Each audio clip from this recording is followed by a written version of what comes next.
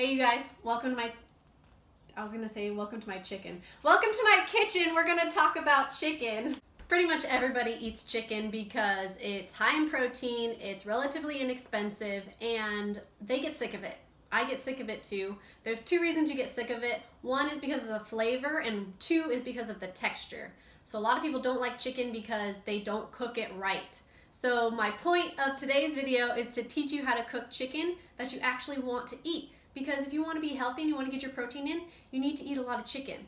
So let me teach you how to cook it the right way so that it stays juicy. Doesn't that sound good? If your chicken breasts are juicy, you'll want to eat them. So watch along.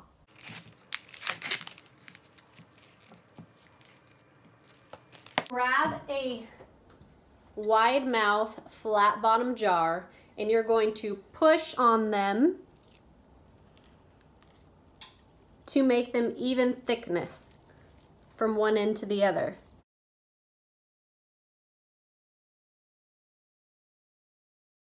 And once they're pretty flat there, you're just gonna add salt and pepper.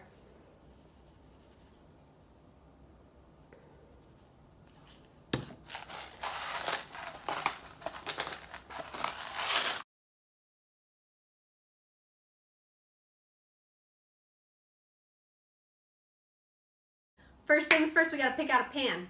So, this is my saucepan. I like to use this one because it's the only one that has a lid that fits. Yep. So you need to pick out a pan that has a lid, a tight fitting lid to cook your chicken in. I like non-stick because it's just easier cleanup and I like easy things. So a pan that's gonna fit your chicken breast that has a tight lid. You're gonna set it here on your stove on medium high let it heat up, and when it's pretty hot, you're gonna put one tablespoon of butter or oil in the pan. My pan is hot, medium high. So I'm gonna add my butter. Go in there, swirl that around. I'm going to immediately put this on medium. And I'm going to add the chicken breast.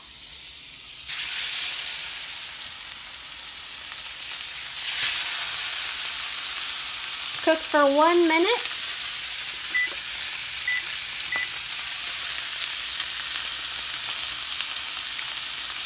It looks like a heart. One minute is up now. So I'm going to flip my chicken breast.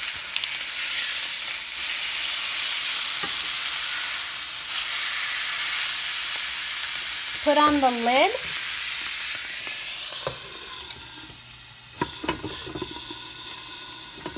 Turn it down to low and set the timer for 10 minutes.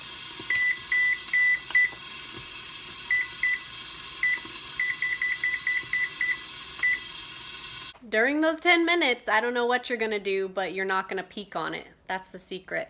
You don't lift that lid. Where's my chicken? I got like 30 seconds left. So during the 10 minutes, you do nothing. You just let it cook on low. Don't do anything else. Timer says it's done. It's done. So I'm going to turn it off. And I'm going to move my chicken off the burner. And I'm going to turn that annoying noise off. Actually, I have to set it again. So then you're going to set another timer for 10 minutes. Again, keep the lid on. Don't touch it. 10 minutes is up. Now you can take the lid off. So here's your chicken. We can put it on a cutting board now. I did put it on a clean cutting board because the cutting board you used before has chicken juice on it, raw chicken juice, so you don't want to use the same cutting board. So a new cutting board for your chicken, it's going to be so good. So I'm just going to slice it up now, it's done.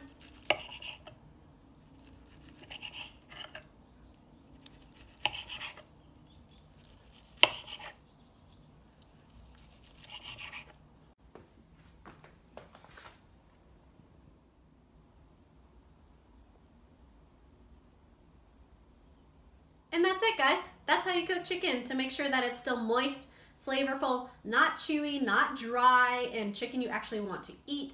Can use that type of chicken in so many recipes.